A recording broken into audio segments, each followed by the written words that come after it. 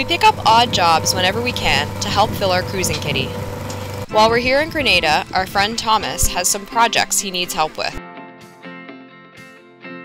So we offered an apartment to Thomas out from New York City, um, doing the bottom on his little fishing boat. So, And it's yeah, we're gonna not total charity, but not total charity. yeah, of course not. Thomas is gonna pay us what he would pay would have paid the the yard. the yard. So how far down are you sanding? So from what I'm told, is you're supposed to see the gel coat, which is this layer on top of the fiberglass of the hull. Um, you're supposed to see it peeking through, but you don't actually want to be sanding the gel coat and damaging it. So I'm gonna sand until I start seeing color change.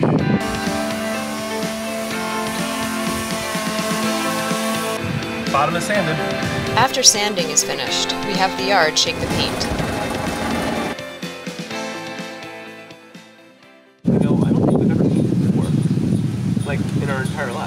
Not an apartment, not a boat. In any capacity. In any capacity, yeah. Strange. Yeah. So here goes on coat number one. I think we know what we're doing.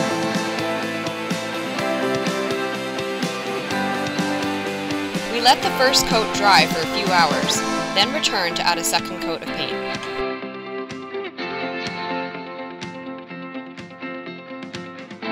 So we're finished painting now, and we're having the boat um, lifted up on a traveler.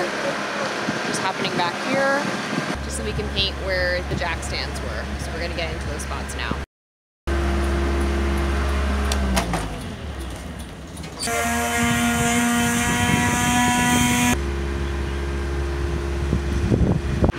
Happened to your flip flop, honey. Broke. That broke at the worst time, Yeah, huh? good day for this. Walking around a nice clean boatyard.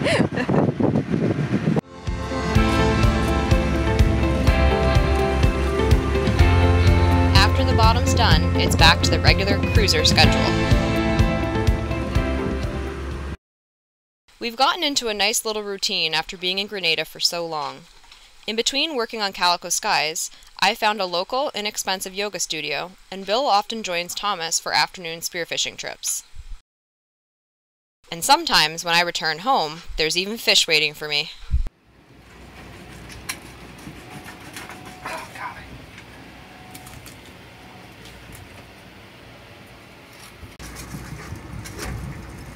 Pretty decent flight. Great job, honey. My least favorite part of going spearfishing is having to fillet the fish. Should we talk about your battle scar first? Yeah, look at this wound. I got a battle wound. You should have seen the shark, though. So back to the triggerfish. They're really hard to scale. A lot of people don't get involved with triggerfish for that reason, but they're really good. Um, they have it's like an armor. Armor, yeah. It's not your. They look like fish scales, but and they are, but they're just really super, really super tough fish scales. We actually use a bread knife sometimes to get through. We're gonna get a lot of feedback on this. Maybe I shouldn't film it. Filleting fish is not our Forte.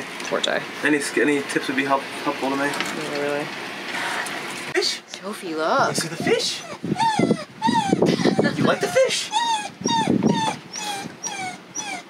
There's the trigger. There's why That's why it's called a triggerfish. Yep. Because of that little trigger. Are you ready for a ride? There you go. Today, our office is the marina parking lot where our friend Thomas has left his Jeep. We're going to see if we can fix the rear window, which he hasn't had much luck getting fixed thus far.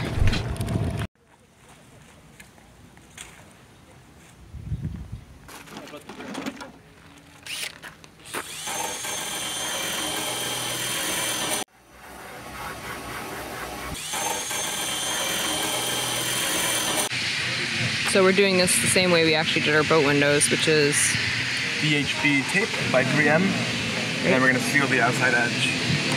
and that is this. Yeah. That stuff we're gonna tape, we're gonna gunk up inside here. We're gonna tape off this so we don't get it on the window when we're done. We'll make this work for Thomas. After we put a couple of hours in on Thomas's car, it's back to Calico Skies to keep chipping away at repairs. So our uh, spinnaker pole topping lift did not survive the transatlantic. Was just up doing some rig checks and found that this was hanging on by the last little threads. Uh, I'm not sure if I could end to end it, if it'll be long enough, or I just need to replace it. End to end refers to the method of flipping the line so that the top becomes the bottom and vice versa. This helps distribute wear on the line to different spots to help prevent chafe damage. Ended off my messenger line inside the mast. Minute project just became probably an hour project, at least because I have to go up the mast now. The messenger line I was using wasn't strong enough, and it snapped. And So how are you going to retrieve something that's lost inside the not, mast? I'm just gonna get the fatter. I'm gonna get a new line, Uh huh. and I'm gonna shove it down the top sheave of the mast, Uh huh. and then it's gonna be dangling inside the mast. Uh huh. and I'm gonna have to try to get a plier or wire or something, grab it, wire hanger, and then pull it Oh, through. we've done this before. Yeah, yeah. We gotta try to fish it out. We're sailing buddies. He has this little bit of chain which will weigh down and weigh down from the top of the mast, and then this uh, little pencil magnet that you can stick inside the hole, catch the magnet, and pull the messenger through. It seems like a pretty good solution. Bill heads up the mast to feed the line down to Kenny at the base, who holds the magnet to help fish out the line from inside the mast. Do you mind if I film this, Kenny? Kenny of sailing vessel Loon is a fellow cruiser we met while sailing down the US coast, and we've run into him here in Grenada. Not surprising, because it's actually quite often we run into sailing friends all over the world. update to our project on the topic of today. We bought some new line that we're gonna run through the mast. Um, the old line, when I cut out the shape, was too short to go up and down the mast. So we're replacing it with new line.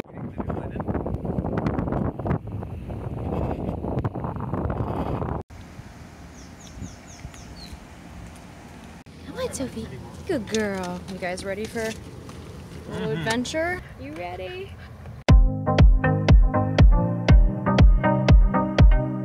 We're headed on a road trip with our friends Thomas and Karen today. The plan is for the girls to swim and explore an island about a mile off Grenada's northeast shore, while the boys will do some spearfishing.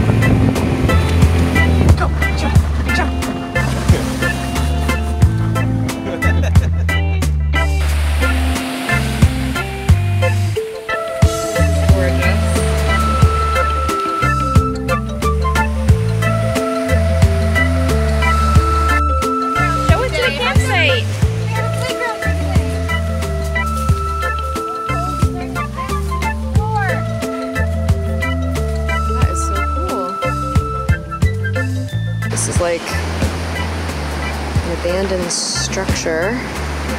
I actually don't know the history of Sandy Island at all. So I don't know why this is here, what it was used for.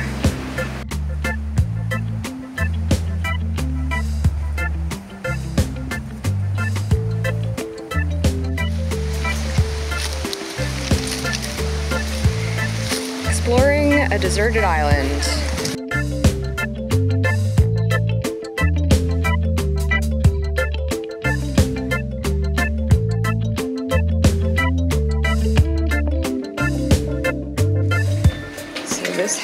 House really had amazing views, or whatever this thing was.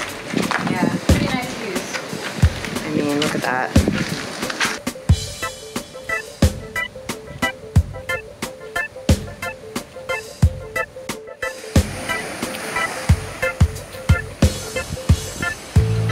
Check out this giant conch shell I just found on the beach. It's so heavy.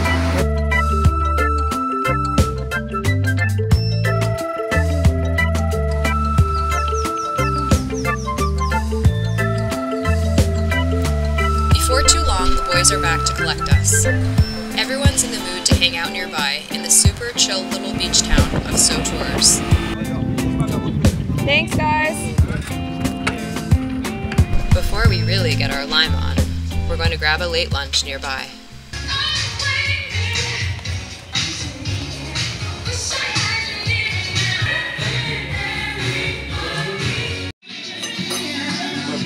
That's better.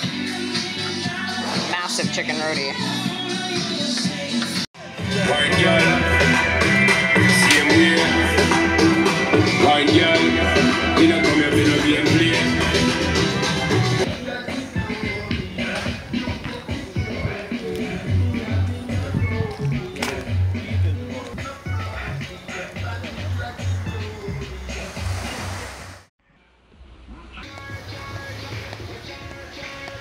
Birdie, um. Every time we go somewhere in Grenada, the journey to the destination is always an experience. I never get tired of people watching and trying to imagine what life is like for Grenadian natives. I'm so grateful we've had the chance to travel off the beaten path, and it's all thanks to our friends.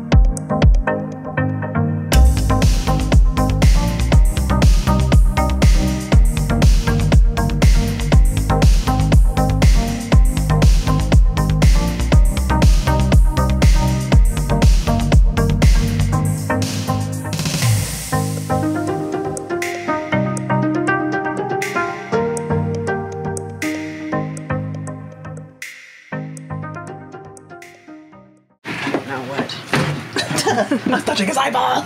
Were you really? By mistake. so gross. But you felt it or you knew you were? I just felt it.